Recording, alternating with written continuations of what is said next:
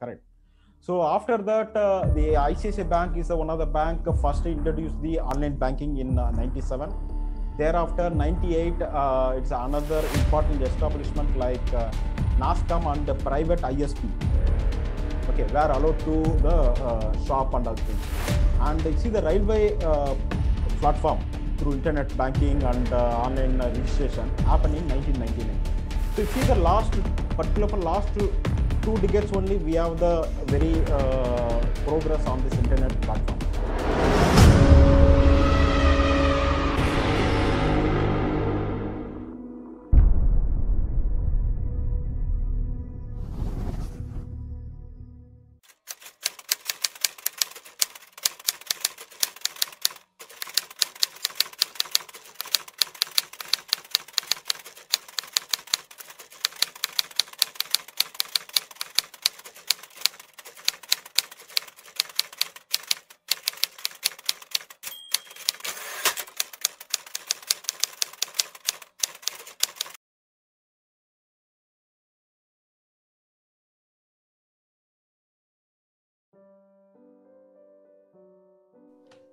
Greetings, ladies and gentlemen. Today it is an honor and a pleasure for me to introduce you all to this very particular session where we are going to know more about the challenges to cashless economy.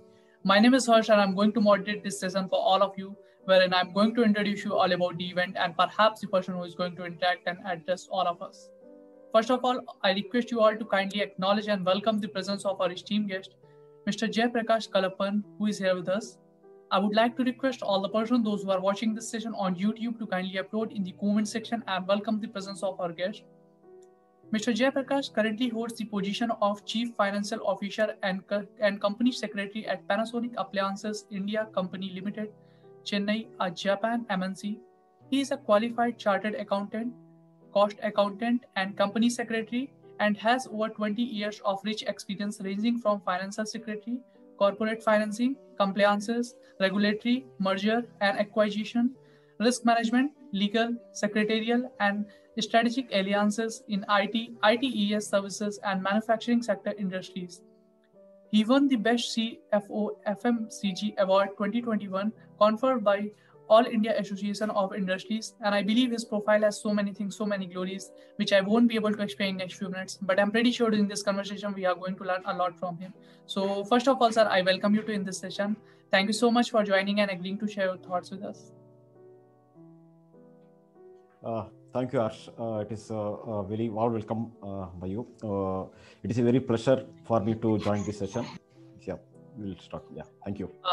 Thank you so much, sir. It's our pleasure too. Uh, so, sir, moving to the topic of today's session, which we have chosen is: Is India ready for cashless economy?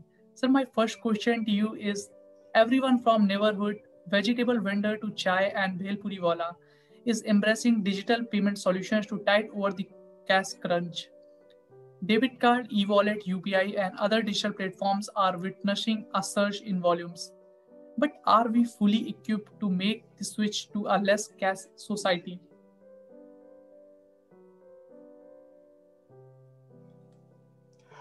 Uh, see, actually, if you start with this uh, uh, the subject like uh, cashless economy, right? Uh, I see our uh, Indian population is about uh, 1,366 million, out of which uh, uh, 892 million from the rural side and uh, 474 million from the urban side. You see the rural uh, sides, it's about uh, it's it's uh, about 66 percentage they are populating. There, the cash still says king in the rural. It's about 72% of the consumer transactions happen in cash. So, which you could not avoid because the main reason is that about uh, 1000, uh, 1000 million adult population in India out of 1366. 190 uh, million of Indian adults uh, are not having any single bank account. Still, they are having the transaction only with the uh, uh, cash. The main reason is that uh, there are few uh, things. That one is the uh, bank account uh, operation not available in India in, uh, in regular size. And another thing is that uh, the ATM, ATM machines Uh, in India, only we have 2 lakh 38,000 and odd, out of which 40,000 only in rural.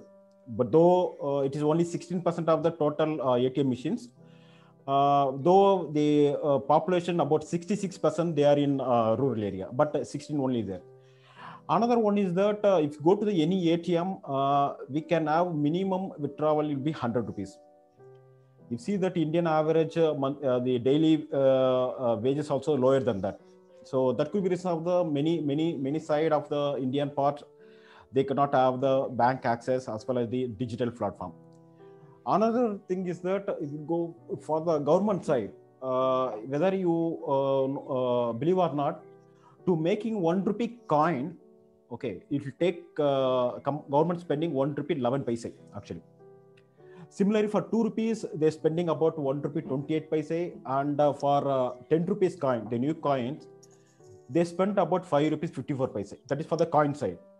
If come for the coming for those uh, notes, uh, particular for this, uh, uh, it's about for 2000 rupees notes, the new notes, government spending about 4 rupees 18 paise per note for the printing charges and uh, similarly for the uh, 20 rupees note uh, they are paying about 1 rupee. It is it is all, all uh, paying the almost the, uh, some cost to the printing and other things. If come for the debit or credit card for printing the debit and credit card uh, they spend about between 4 rupees to the 22 rupees depending on the, the card and other things. But the good thing is that the card validity also more than 3 to four, 5 years. But you see that our currency particular for notes uh, our uh, this fastest and uh, regular usage of notes is the 5 rupees notes. It is as valid of life maximum one year because of the circulation more. Uh, because it is the main circulation more in uh, china in world but again the india is a more circulation for this note uh, particular for the again for the 10 rupees notes it is as two years lifetime validity. And the 100 rupees okay 100 rupees it's have more than three to four years. Again high value note like 500 2000 it is 5 rupees 7 uh, five, 5 to 7 years uh, life span of person so this because of the, all the things uh, things uh, uh, the what we can say the cashless society is not very attached with that transactions. Another main thing is that the people not aware of the, the how to use the banking transactions, banking system. That is due to the main thing for the uh, something like uh, uh, lack of insufficient sufficient uh, infrastructure and internet. Uh, some banks they are still using the pay in slip for the withdrawal because they don't have the ATM.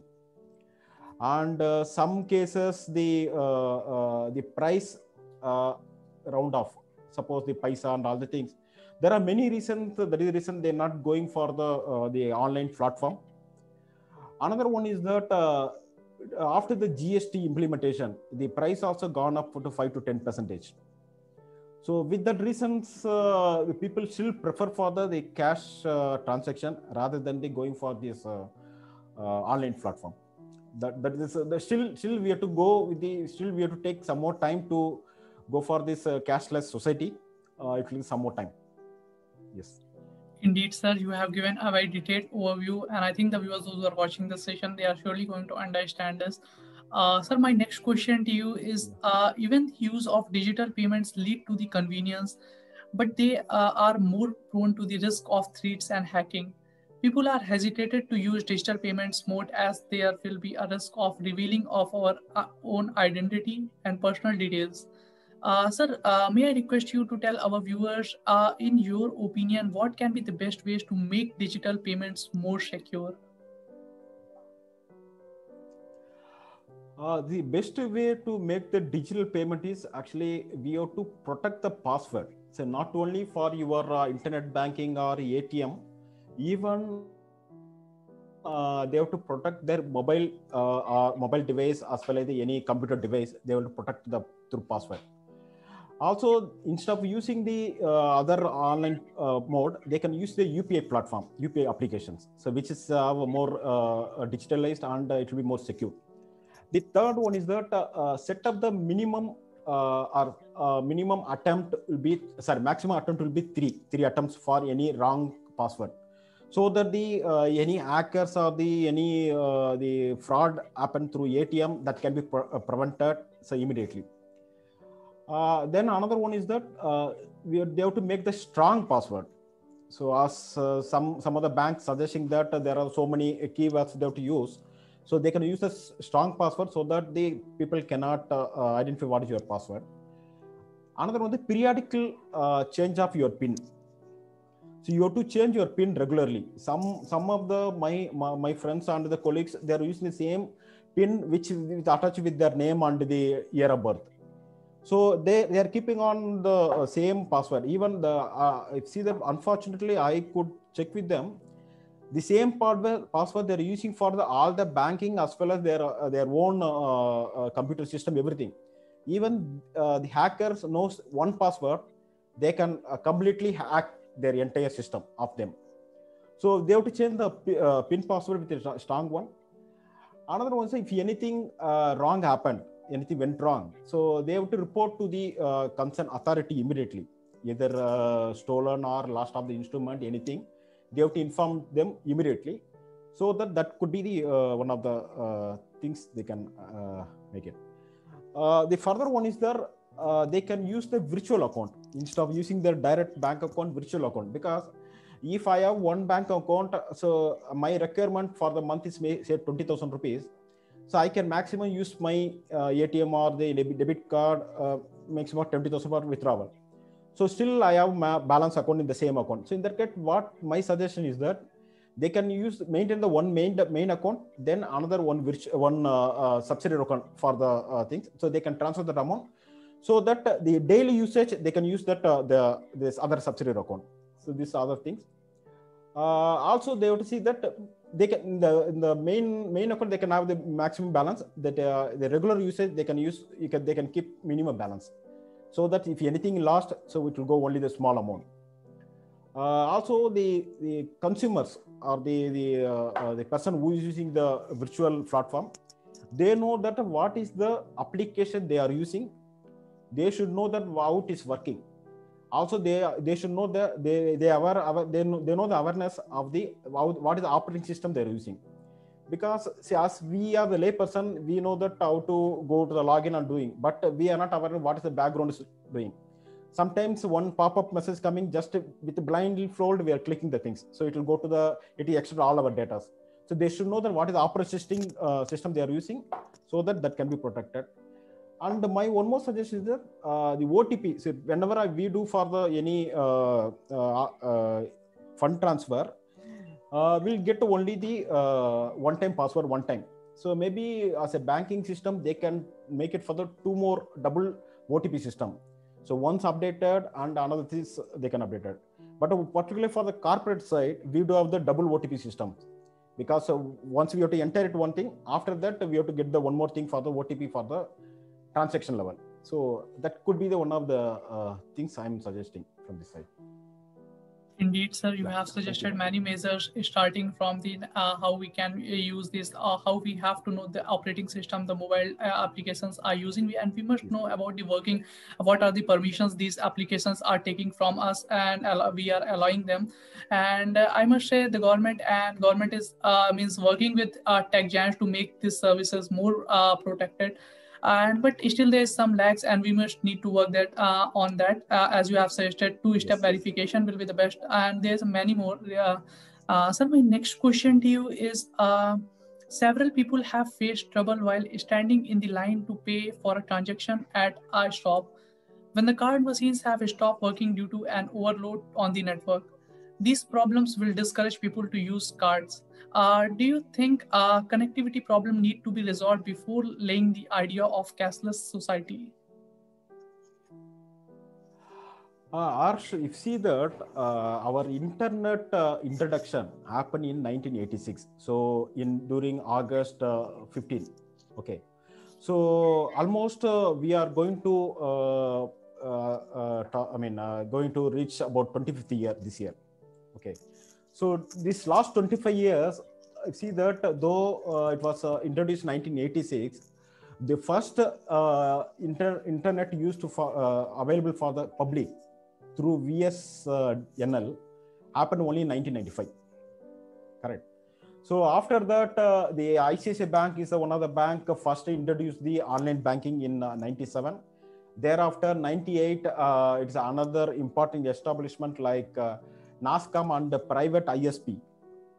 Okay, were allowed to the uh, shop and other things. And if you see the railway uh, platform through internet banking and uh, online registration happened in 1999. So if you see the last, particular for last two, two decades only, we have the very uh, progress on this internet platform. Uh, but if you see that internet uh, uh, connectivity, though it is drastically uh, uh, increased, so far in as of for 2020 last year, only 730 million active internets are using. It is about uh, say 53% of our total population of uh, 1,360 uh, million. So the major uh, uh, issue here is that because you ask that what is the trouble which is standing in line to pay the transaction because whenever whenever I do for some transaction also, particular for the online transaction I'll, at the time of swiping also, I am getting the some decline message. So even my card is active, but still I could not do the transaction. Then I see that uh, what is the uh, uh, uh, reason for this. Then I found out one of the reasons that that is the uh, lower average bandwidth because bandwidth is not the speed as much as uh, what we require because earlier the usage is very limited and now the people are rushing to the everywhere for the online transaction particularly for during covid side so online transaction was increased drastically. Okay. So during this period what happened is the uh, so whenever we do for transactions it decline. So that is because of the bandwidth is not sufficient for our transactions. So that needs to be uh, make it uh, very good. But you see that in average uh, download speed in india is about only the 40 kilobytes. That is nothing but is about uh, 256 uh, uh, bit uh, uh, kilobit so so that has been increased. So to make it the problematic uh, things can be overcome. Yes. Another one is that uh, they can do the some device efficiency and uh, ram upgradation. Also maybe the qr code based payment also they can introduce. So that will help us for the cashless i mean uh, the uh, troubleless, troubleless issue can be solved Indeed, sir. Again, it was quite insightful answer from your side. Uh, sir, my next question to you is uh, actually this question is uh, very much related uh, with Indian society. Uh, many people are trying to just save their money for their future and keep a close eye on their expenditure. Uh, but paying cards give people a free hand, not just through credit, but even the debit cards give that impression that you can make payments immediately, but the amount of expenditure is rapidly increased with the use of cards. Uh, sir, what are your views on this? Uh, it is not too public even to me also whenever, whenever i go to any uh, shop okay so whenever i took my daughter also for along with me for any purchase actually we plan for want to buy only a uh, few thousand rupees but when we go to the shop uh, my daughter uh, asking uh, purchasing many things which is though relevant but it's not relevant immediately. It's not requirement immediately. But uh, when i swipe the card i feel that okay uh, i may get the reward points because whenever i swipe it sometimes i'll get the cash back. Some cases what they're saying is if you buy two you'll get one free. Okay. So that is tempting me to buy more. Though it is not required at immediate. But if see that because i am the financial uh, person finance person so i know that what is the value of the transaction because i see that what is the interest cost i am paying because if i spend suppose i need only one product now maybe i can say uh, one uh, soap. Okay. So it is cost say 70 rupees but they saying that three soap for 200 rupees but still i'm saving 10 rupees. But for 200 rupees i'm paying the interest from my side indirectly though i am aware of that it is tempting me to buy three because upfront the the bonus or the incentive they are showing me as a like a carrot before the rabbits. So i see that the 10 rupees i'm getting. But uh, indirectly they took me some interest cost from my side. Correct. So uh, this is one of the tempting side. Another is that uh, the uh, the bonus the cash uh, the cashback what i told sometimes the point uh, systems, redeem, redemption point. Some cases the frequency flyer card. They give the the airmail points so that I can use for my next travel. These are things. But another main use for this uh, using the credit and debit card uh, mainly for the any emergency requirement suppose uh, any emergency requirement anything it can be hospitalization or anything we cannot run behind the atm or they we can we cannot see the person ask the person to borrow some money so in that case i have my limitation in my credit card so i can use it and you can use it for the any emergency and one more thing is that the payback period it's always 45 days to 40 to 45 days so i can enjoy that period also so i need not pay immediately so this grace period is tempting me to buy more. The another one is that uh, this card can be acceptable globally. Any card, any international card. Suppose if I have INR rupees, I'm visiting to Singapore, Malaysia, this cash cannot be used there. But instead, I can use the my credit international credit card. I can I can use that card anywhere. Correct. So that is the globally available uh, so that is the main main main points of the things uh, uh, we can use it. Another one I want to point out here is that uh, some people using the credit card often. Uh, as a finance side, I want I would like to inform one thing here. There is a section called section called 285 BA in Income Tax Act. Okay. In that case, what they are saying is if you are swiping your card for more swiping not swiping swiping and uh, payment to the credit card to the bank if you more than 10 lakhs annually by through NEFT or or check all the things or you payment your credit card uh, uh, settlement by cash of more than 1 lakh the bank who's issuing the credit card has to report to the reserve bank of india and the rbi so in that case, what happens is nowadays income tax uh, there is a, a, form called 26 AS. So in that, uh, whatever the transaction, if more than uh, 10 lakhs rupees in a check payment or 1 lakh uh, more than cash, it will be disclosed in that uh, uh, your income tax returns. So people should aware of that. They have to restrict their spending so that the, the your transaction will not disclose to the not report to the uh, bank as well as not reported in the your income tax. So this is one of the things I want to highlight here. So accordingly, the customers who are using the credit card can be managed accordingly. Yeah, thank you. Indeed, sir, it is really a very uh, great information from your side. And I think the viewers who are watching this session, they are surely going to find it insightful. Uh, not only I think, but I do strongly believe this. Uh, sir, uh, my next question to you is uh, is the ban on private cryptocurrency a step in the right decision? What are your views on this? Yeah, Arsha, you see that uh, uh, uh, cryptocurrency, one of the things which uh, manage with the uh, bitcoins. See, presently all currencies are uh, valued at the based on the American USD, correct? Whereas the cryptocurrency uh, shall be circulated in any currency and not depend on the American market. First of all, that is one of the good thing here. And Bitcoin is one of the uh, cryptocurrency where it is currently circulated worldwide. So, if as I told you in my earlier thing, INR cannot be used in Singapore, but whereas the uh, the Bitcoin can be used globally because globally accepted some countries legally accepted some company legally not accepted some company uh, legally uh, some uh, sorry some country legally not tender uh, but some countries it's legally exchange to use it we presently see that uh, uh, the bitcoins say it is a maximum allowed limit is 21 million in count. So so far 17 million was already exercised globally Still, the leftover is only 4 million. So, as of now, it's more than uh, 70 billion US dollars circulation in India. And currently, uh, the 1 billion, one, one Bitcoin uh, is pricing about, about 3.25 lakhs. So, it is more like a transaction. Uh, we can use it for the Bitcoins, which globally accepted. But in India, uh, cryptocurrencies are not legally tendered, but it is legally allowed to exchange. That, that is the situation now uh, because the government has made it very difficult for them to operate. uh, particular for this uh, scenario in Indian government banning the uh, the private uh, cryptocurrency.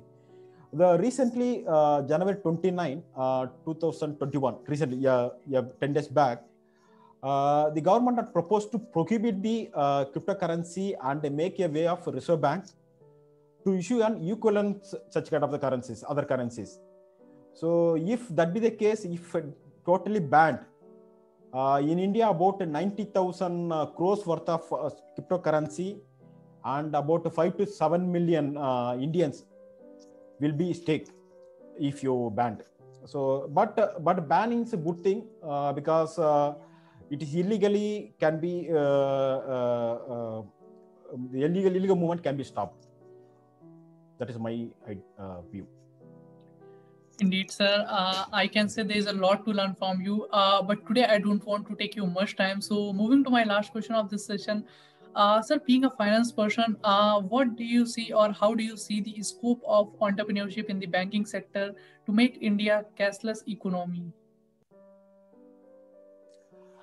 Uh, banking uh, scope by entrepreneurs in the banking sector to make India cashless. See, actually, if you take that any cashless economy, it is always through from the banking sector only because as a uh, because it is through the cash. Cash means RBI. So RBI again is the banking. Yeah, mo- more than the RBI, uh, the banking have the more role on this uh, cashless economy.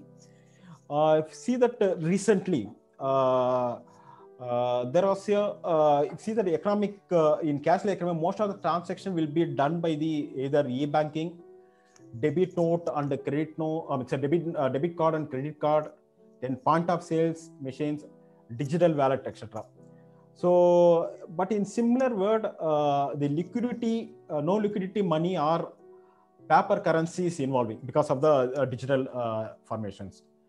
Uh, particular for if you see that last two years 250 million bank accounts has been opened in india uh, as per the rbi reports uh, the bank branches was increased 5% per year every year.